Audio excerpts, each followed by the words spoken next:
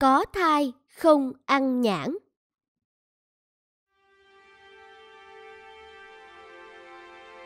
Dân, hôm nay đi theo thầy, con hãy nhớ quan sát thật kỹ để mà học hỏi các kinh nghiệm khám bệnh nha. Dạ, con nhớ là thầy dặn rồi ạ. À. Con mới theo thầy học, may mắn lắm mới được thầy chỉ dạy tận tình. Con có tố chất, chỉ cần chăm chỉ, chịu khó. Ta tin con sẽ sớm thành tài. Thôi, đến nhà người bệnh rồi, chúng ta đi vào trong thôi. Dạ, chào thầy ạ. À. Vợ chồng nhà cháu mong thầy mãi. Sao, dạo này chị thấy trong người như thế nào? Ờ, dạ thưa thầy, Nhà cháu thấy khó chịu, bức dứt trong người, miệng thì đắng ngắt, họng thì đỏ rát. Thực sự là rất khổ sở ạ. À. Sao lại thế được? Lần trước khám tình trạng của chị đã khá hơn rồi mà. Mạch đập nhanh quá, khi hỏa đang lấn át hết cả. Thế nào, mấy ngày qua chị nhà có uống đúng những thuốc nam an thai mà tôi đã đưa không? Ừ, dạ thưa thầy, có chứ ạ. À. Mỗi ngày nhà cháu đều sắc thuốc hai lần, đúng như thầy ghi ạ. À. Thế còn ăn uống thì sao? có kiêng những thức ăn, hoa quả, trái cây có tính hỏa mạnh không?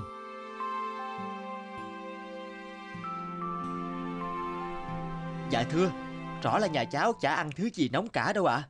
Chắc chắn là có ăn mới ra nông nổi này. Tôi thấy lo ngại quá. Đã dặn như vậy mà anh chỉ nhất nhất không nghe theo. Giờ động huyết động thai, phần bụng dưới rồi sẽ đau, tổn thương thai khí. Mạnh có thể dẫn tới tử vong. Ờ, dạ, ờ, đúng là vợ con ờ, không... Điều trị bệnh mà không nghe theo lời thầy Lan thì rất khó. Thôi à, để tôi nói luôn, cách đây hai canh giờ, chị nhà có ăn nhãn đúng không? Ừ, thầy, nhưng nhưng sao thầy lại biết ạ? À? Cái mạch của chị nhà nói lên tất cả. Dạ, thầy đúng là thần y, chứ không phải thường, chỉ bắt mạch mà biết được người bệnh mới ăn gì nữa. Thế à, có đúng như vậy không? Dạ thưa... Dạ, lỗi là tại con thầy ạ. À. Mấy này tự dưng trong người háo đồ ngọt quá. Đến đêm nằm mơ cũng mơ thấy mình được ăn nhãn. Tỉnh dậy thèm quá, không cưỡng được. Nên con đã dục chồng đi mua. Ừ, lỗi là tại con. Hey, thôi, để lần này tôi lấy thêm cho ít thuốc lá ăn thai, hàng tính. Nhưng nhớ từ sau không được ăn nữa. Thể trạng chị yếu, có khi hỏng cái thai ân hận cả đời đó. Dạ thưa, nhất định là chúng con sẽ ghi nhớ lời dặn này, tuyệt đối tuân thủ theo những lời dặn của thầy ạ. À. Chà chà, thầy giỏi quá, con thật ngưỡng mộ thầy. Tại sao bắt mạch mà thầy lại có thể biết được người ta vừa ăn gì, khiến cho cả người nhà bệnh nhân và bệnh nhân phải tâm phục khẩu phục như thế ạ? À? con không biết đó thôi, nhiều lúc người nhà bệnh nhân cố tình giấu giếm nên ta phải dựa vào quan sát để mà đưa ra phán đoán cho họ thâm phục khẩu phục đấy. Ờ, Nghĩa là sao ạ? À? Thì lúc mới bước vào nhà Ta đã để ý thấy có vài hạt nhãn lăn dưới gầm giường Lại có cả vỏ còn rất tươi nữa Thậm chí ở dưới chiếu cũng có Mùa này nhãn trái vụ nên rất hiếm và đắt Khá giả mới mua được Và người chồng lại là người rất chiều và thương vợ Nên chắc chắn sẽ chiều theo vợ mà mua cho Chà chà Những phán đoán của thầy thật là chuẩn xác làm sao Khi đi khám bệnh Ngoài kiến thức chuyên môn chúng ta cũng cần có sự quan sát tinh tế ngoại cảnh thì thoảng nó cũng có tác dụng nhất định nữa đấy cái này à, gọi là mẹo đấy con ạ à. dạ thưa vâng con nhớ lời thầy rồi ạ à. mà thầy ơi chiều nay con vẫn mang thuốc đến nhà anh tư chứ ạ à? ừ thầy tôi có dặn đem thuốc đến cho anh tất cả là ba đồng. Ôi may mà cậu đến đúng lúc. Thằng bé nhà tôi từ nhỏ bị gan. Điều trị đã ổn định rồi. Mà từ sáng giờ nó cứ ôm bụng kêu đau. Không biết cháu bị sao nữa. Tôi lo quá. Ấy, tôi chỉ là học trò của thầy. Để tôi quá bộ về gọi thầy đến xem giúp cho nhà anh. Từ đây về nhà thầy Lan xa quá, thế thì muộn mất mà cháu đang đau quá, thầy giỏi thất học trò cũng giỏi. Cậu cứ vào thăm bệnh xem cháu bị làm sao, có thế nào sau này gọi thầy Lan cũng không muộn mà. Mình cứ vào bắt mạch xem sao, biết đâu lại áp dụng được mẹo của thầy ban sáng. Được, anh dẫn tôi vào thăm bệnh cho cháu đi.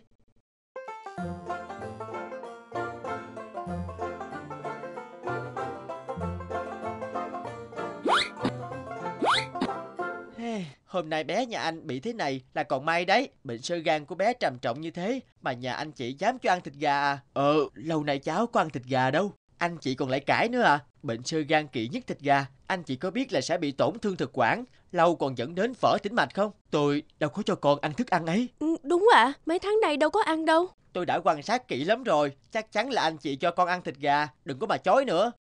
Chả phải đang treo cái chổi lông gà Trình in ra đây Lại còn bảo thủ không nhận nữa chứ. Bực mình cho anh chị quá Cho con ăn thịt gà như thế. Khác nào anh chị đang giết con mình. Ừ, Hả? À, Mình ơi Hắn ta bảo chúng ta giết con. À, Này thì thịt gà này Rồi lăng băm Chữa bệnh mà nói sằng nói xiên thế à, à Ôi ôi đừng mà Ôi đừng mà. Quái sao giờ vẫn chưa thấy về nhỉ? Ôi trời ơi dần Con làm sao thế? Con đi đưa thuốc. Nhà anh Tư có đứa bé đang đau bệnh Cứ bảo con khám luôn cho Con thấy có dấu hiệu sơ gan. Rồi sao? Nhớ lời thầy dặn Quan sát kỹ xung quanh Để đưa ra phán đoán Con thấy có treo một cái chổi lông gà Liền phán bệnh nặng thêm vì cho ăn thịt gà, bệnh sơ gan kỵ thịt gà còn gì. Thế mà họ không nghe, lại còn đánh con nữa. Hey, ôi trời ơi, ta dặn con quan sát tinh tế, mà con nhìn thế nào, cái cây chổi quét nhà của người ta lại đoán là cho ăn thịt gà chứ. Mai hôm nay, con bị đánh như vậy là nhẹ đấy, lần sau mà như thế, có khi còn mất mạng đó, nghe không? Còn chưa đủ kiến thức để khám bệnh Mà tự tiện khám là sai lầm lớn đầu tiên Con biết không Khi khám cho thai phụ kia thầy đã theo dõi tình trạng sức khỏe một thời gian rồi, hiểu được những thay đổi của cơ thể chỉ có thể là do thức ăn, nên mới có thể đưa ra kết luận như thế để trấn áp sự quanh co của họ. Còn con chưa biết gì về tình trạng bệnh nhân mà lại bắt chước mẹo của thầy một cách máy móc, đã xét đoán hồ đồ, khiến sai lầm chồng chất sai lầm. Nghề gì cũng phải cẩn trọng, nghề y của chúng ta càng phải cẩn trọng hơn vì nó liên quan đến sức khỏe và tính mạng con người không nên vì bất cứ lý do gì mà đưa ra những kết luận hồ đồ con hiểu chưa con hiểu rồi ạ à. từ sau con xin khắc cốt ghi tâm lời của thầy ạ à. sức mạnh vô hình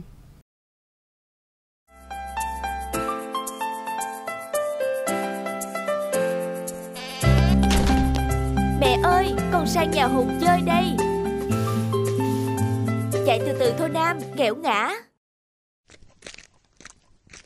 Mẹ, mẹ, con cũng muốn đi ra kia chơi.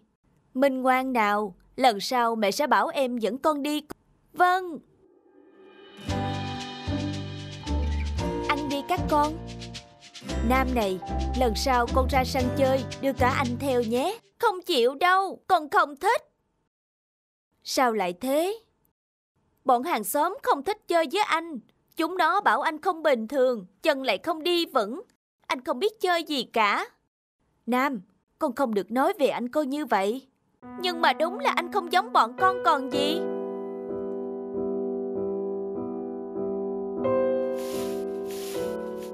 Nam à, con phải thương anh con nhất chứ.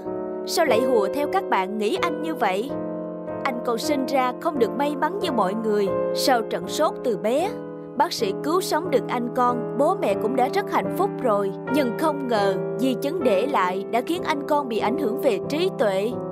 Một đứa trẻ, một đứa trẻ ngoan. Nhưng các bạn... còn hãy nói và hành động để các bạn hiểu điều đó. Đừng làm anh con buồn. Con hiểu rồi.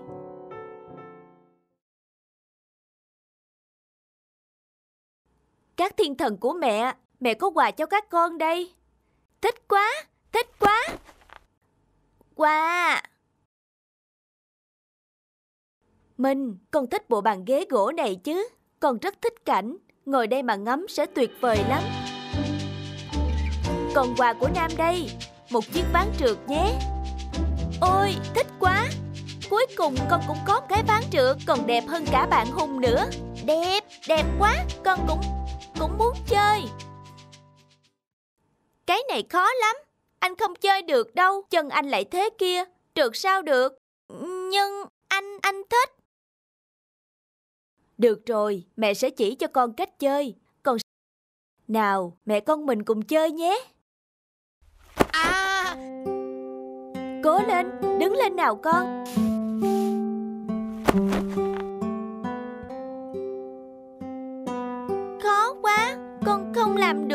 Đứng dậy nào, con sẽ làm được mà.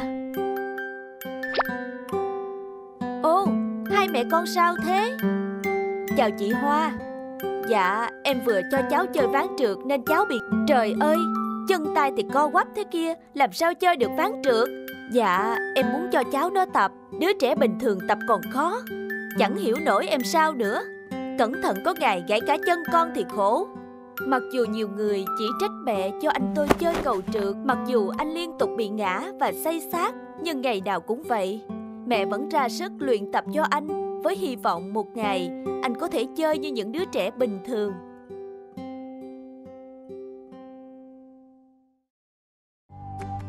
Mẹ ơi, con tự lên xuống.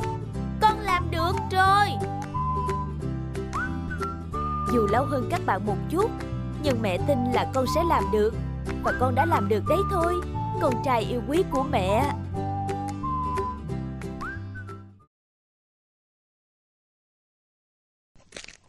Chào, chào mọi người. Hôm anh vào rửa mặt đi. Cả nhà đang chờ cơm đấy. Mẹ đúng là một vị thần. Con vẫn nhớ hồi còn bé.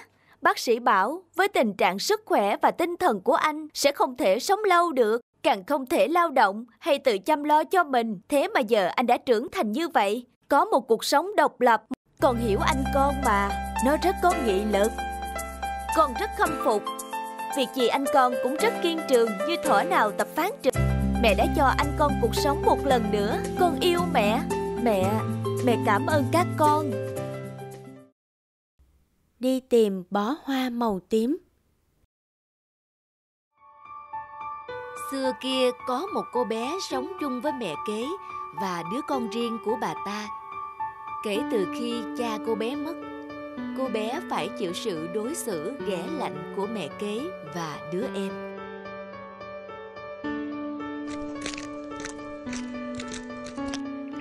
Con ăn nhanh rồi lên phòng đọc sách. Lát nữa chị cả về sẽ dọn dẹp. Chị cả, mẹ lại nhắc đến chị ta rồi. Ước chi chị ta không xuất hiện ở trong nhà chúng ta có phải tốt không? Con gái, chẳng phải có nó ở đây. Chúng ta sẽ có người dọn dẹp, có người lấy cỏ cho ngựa và giặt cho con những bộ trang phục hay sao? Nhưng mà ai cho phép chị ta được xinh đẹp hơn con cơ chứ? Mẹ à, hãy nhìn thấy chị ta là con lại thấy bực bội rồi. Mẹ mau mau tìm cách đuổi chị ta ra khỏi ngôi nhà này đi cho khuất mắt. Thôi được rồi con yêu à, để mẹ nghĩ cách. Hãy đội chiếc mũ này vào và đi tìm cho ta một bó hoa tím. Mẹ, mẹ nói sao cơ ạ? À? Không nghe rõ gì sao? Ta đã nói rồi, mày hãy lên đường tìm một bó hoa tím về đây cho ta. Nếu không tìm được thì đừng có mà về nữa nghe chưa? Mẹ, trời đầy tuyết thế này, đào đâu ra một bó hoa tím cơ chứ? Chớ có phàn nàn, hãy tức tốc lên đường ngay và đừng có quay trở lại nếu chưa tìm được, hiểu chưa? Mẹ ơi, mở cửa cho con, mẹ ơi!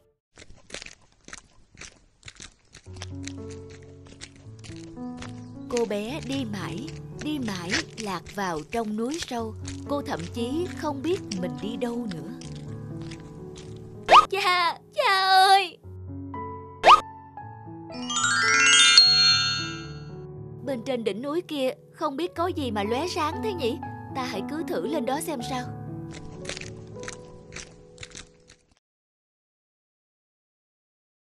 Cháu chào các cụ ạ à. Chào cháu Cô bé Con đi đâu mà lại tới đây Dạ mẹ con bác con phải tìm Và hái về nhà một bó hoa tím mà Trời tuyết lạnh giá thế này Cháu đã đi suốt đêm Mà chẳng thấy bông hoa tím nào đâu ạ à. Này ông bạn thang ba ơi, đến việc của ông rồi đấy. Cháu gái ngoan, ta sẽ tặng cháu không chỉ một bó mà cả một cánh đồng hoa tím cơ đấy. Nào, hãy nhìn đây. Ôi, tuyệt quá, tuyệt quá. Nào, cháu gái ngoan, cháu hãy hay bao nhiêu hoa tím tùy thích và trở về nhà mau lên. Dạ, cháu cảm ơn các cụ ạ. À. Các cụ có phải là bốn mùa và 12 tháng trong năm không ạ? À?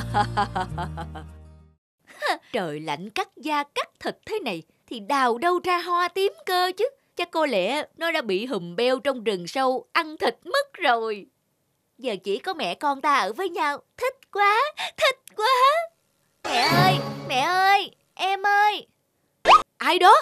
Mẹ ơi, con mang bó hoa tím về đây ạ. À. Nó vẫn còn dám quay về sao? Hả? Mày lấy đâu ra những bông hoa này cơ chứ? Dạ, chuyện kỳ lạ lắm mẹ ạ. À.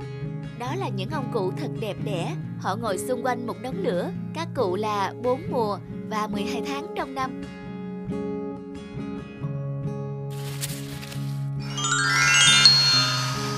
Kỳ lạ quá, Con phải đi lên đỉnh núi đó Để xem sự thật có phải đúng như chị ấy nói không?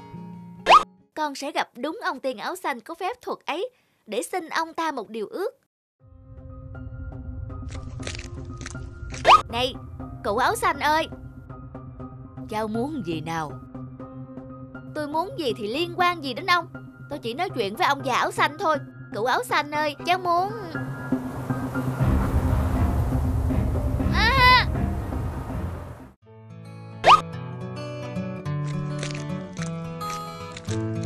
Thế là bà dì ghẻ đi tìm con, Cũng bị bão tuyết cuốn văng đi. Từ đó, cô bé sống hạnh phúc trong ngôi nhà của mình Ngựa thần biển Xưa kia, tại một vương quốc nọ, có vị vua già cả, có ba người con trai là ba hoàng tử khôi ngô. Thưa phụ vương, có chuyện gì mà người phiền muộn như vậy? Chưa bao giờ cha muốn trở lại thời trai trẻ như lúc này. Vậy là phụ vương có tâm nguyện gì? Thời trẻ, ta từng được nghe câu chuyện về ngựa biển trắng khi mặt trời lên. Ngựa ba lần chạy vòng quanh thế gian. Ta luôn mơ một lần được cưỡi lên lưng ngựa, nhưng vì sứ mệnh với vương quốc nên phải tạm gác lại. Một con ngựa biển thần kỳ ư, thưa cha? Con mới chỉ được nghe đến ngựa biển trong truyền thuyết. Cha tin ngựa biển có thật trên thế gian. Ước nguyện cuối cùng của đời cha là được cưỡi trên lưng chú ngựa thần kỳ ấy. Chúng con sẽ tìm bằng được con ngựa ấy. Vậy các con hãy thay cha thực hiện mơ ước ấy. Chúng con hứa sẽ mang tin vui về. Ba hoàng tử lập tức lên đường tìm ngựa biển thần kỳ. Họ cứ nhằm hướng biển phía nam thành mà phi ngựa. Rẽ bên phải, không gặp nguy hiểm. Rẽ bên trái, không gặp hiểm nguy. Đi thẳng, tìm thấy cái chết hay niềm hạnh phúc. Ta sẽ rẽ phải. Còn em rẽ trái, nghe thấy cái chết, đã thấy phát khiếp. Hạnh phúc đâu dễ kiếm tìm, dù hiểm nguy đến mấy, em cũng phải thử. Vậy là cậu định đi thẳng ư? Khác đào cậu cược 50% cho cái chết hả? Em sẽ đi thẳng, nếu có chuyện không lành, các anh trở về hãy kể lại cho cha biết về số phận của em. Cứ đi theo dấu chân này, biết đâu lại tìm thấy nơi trú chân qua đêm. Không ngờ giữa trường hoang lại có những công trình đồ sộ thế này. Người lạ mặt kia Ai cho phép người đặt chân vào lâu đài? Tôi là tôi. Ờ, Chỉ muốn tìm một chỗ trú chân qua đêm nay Nên theo những dấu chân khổng lồ tới đây. Dám bước theo dấu chân khổng lồ Cho thấy cậu là người can đảm Và cũng may mắn nữa. Đừng sợ Hãy kể ta nghe Cậu lang thang tới chốn này là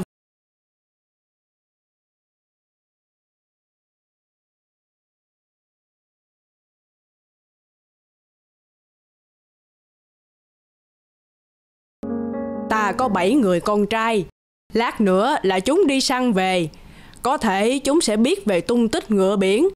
Nhưng giờ hãy trốn đi đã. Các con ta không ưa mùi của con người. Mẹ, mẹ đặt chảo đi. Có mùi con người.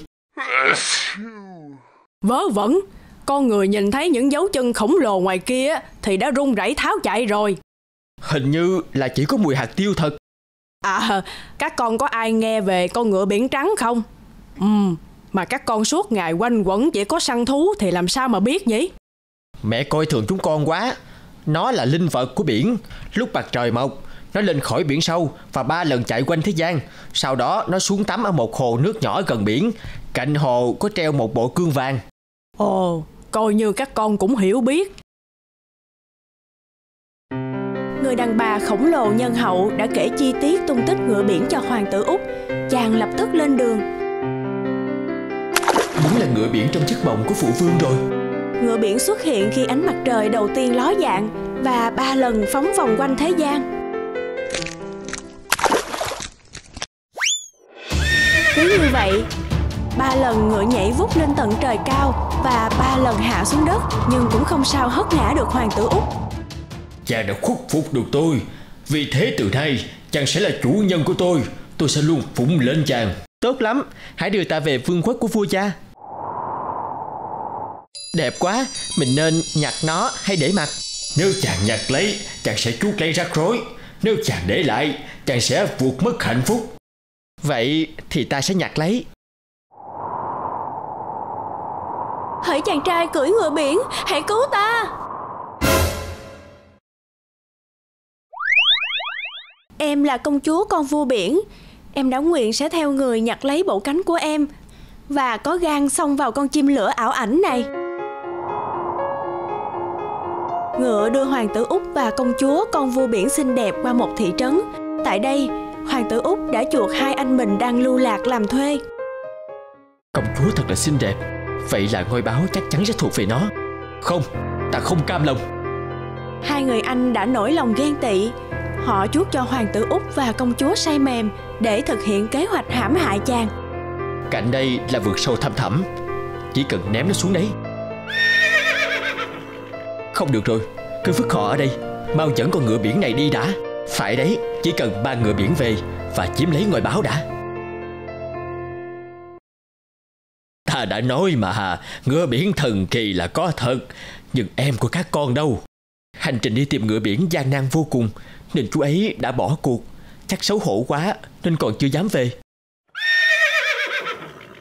Chính hai anh mới là những kẻ phải xấu hổ đấy. Một con ngựa không bao giờ hất ngã chủ nhân đã chinh phục nó đâu. Bị lộ tẩy âm mưu đen tối Hai người anh run sợ bỏ chạy thục mạng. Đám cưới của hoàng tử Úc và nàng công chúa xinh đẹp được tổ chức linh đình. Về sau, họ trở thành đức vua và hoàng hậu kế vị vương quốc hùng mạnh. Người kiên nhẫn nhất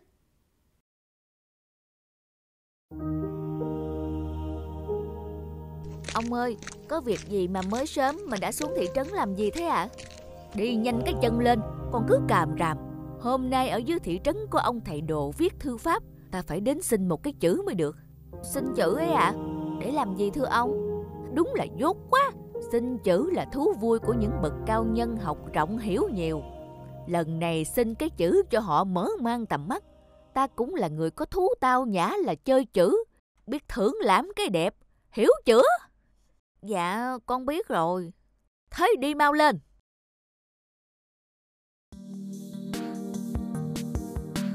Thưa thầy, thầy cho con xin chữ tài. Thầy cho con xin chữ đức ạ. À.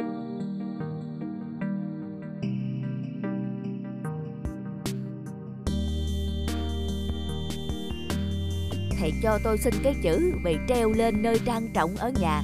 Cho bà con xóm diện đều biết tôi là người trí thức, biết trọng cái chữ. Vậy ông xin chữ gì? Tôi cũng không biết rõ lắm. Thầy cứ thử gợi ý cho tôi xem. Có người cầu tài thì xin chữ tài. Người cầu an thì xin chữ an. Hoặc có những người xin chữ về để tu theo đức tin ấy như là chữ nhẫn thì phải nhẫn nhịn chữ nhân thì phải tốt bụng không ham hư vinh cái chữ nhẫn đầu tiên ấy thì thế nào vậy thầy? Những người xin chữ nhẫn thì phải tu tâm sao cho được cái tâm trụ vững như đá, bình an trước mọi nghịch cảnh, bị người khác ganh ghét, lăng nhục, mưu hại, vẫn luôn nở nụ cười trên môi, thản nhiên như không. Hay quá! Vậy thầy cho tôi xin chữ nhẫn. Thầy mới nói qua mà tôi đã thấy cái tâm của mình cũng giống như chữ nhẫn ấy quá. Vâng, để tôi viết cho ông. Mày về nhà làm ngay cái khung trang trọng, treo ngoài cửa, cho mọi người đi qua đi lại đều nhìn thấy. Từ nay sẽ không còn ai dám coi thường ta là cái ít học nữa nha. Hay dạ, hôm nay nhà lão ấy lại còn chơi chữ nữa cơ đấy. Từ giờ chúng mày đừng có chê cười ta ít học nữa nha. Thưa ông, đây là chữ gì ạ? Bọn con không được đi học nên không có đọc được. Đây là chữ nhẫn và những người thờ chữ nhẫn như ta đều phải tu cái tâm rất cực khổ. Sao cho được cái tâm trụ vững như đá, bình an trước mọi nghịch cảnh, bị người khác ganh ghét, lăng nhục, mưu hại. Sư vẫn luôn nở nụ cười trên môi, thản nhiên như không. Vậy Ngài đã tu thành chữ nhẫn rồi phải không ạ? Tất nhiên rồi, không tự dưng ta treo chữ ấy tại đây làm gì? Thưa ông, đây là chữ gì ạ? Mắt dạ kém quá, không có đọc được. Dạ, chữ nhẫn thưa cụ. Ta tu hạnh nhẫn nhục nên xin chữ nhẫn đó mà. Ít người tu được chữ nhẫn này lắm thưa ông. Chữ viết đẹp thế này, chứng tỏ ông cũng là người rành thư pháp lắm đây. À, vâng, đúng đấy thưa cụ. Ông ơi, đây là chữ gì ấy ạ? À? Chữ nhẫn bà ạ. À. Đúng là chỉ được cái vỏ rỗng lại còn khoe khoang. À, thưa ông, thầy viết chữ gì đấy ạ? À? Chữ nhẫn. Chà, chữ đẹp quá ông ạ. À. Con nghe nói người nào tu chữ nhẫn thì phải có cái tâm vững lắm. Ai nói gì sắc mặt cũng nhẫn nhịn được, phải không ạ? À? Đúng rồi. Ông ơi. Ông ơi, cái chữ kia là chữ gì ấy ạ? À? Vừa rồi ông nói mà con quên mất rồi ạ. À? Chữ nhẫn, chữ nhẫn, đồ dốt, đồ dốt gia truyền. Có mỗi chữ nhẫn mà chúng mày cũng hỏi ông hết lần này đến lần khác từ sáng tới giờ. Cút ngay. Thôi ông ơi, ông đang tu theo chữ nhẫn cơ mà, tâm vững như bàn thạch. Ai chê cười gì cũng coi như nước đổ lá khoai cơ mà ông. Ờ, ờ, ừ, tao... Uh... Đúng là trò lố mà.